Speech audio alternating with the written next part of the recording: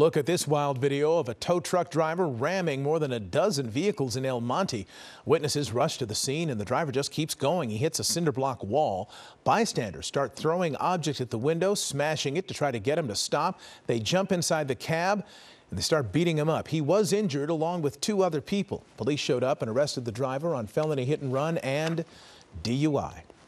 Hello, I'm Mark Brown. Click the ABC7 logo to subscribe to our Eyewitness News YouTube channel.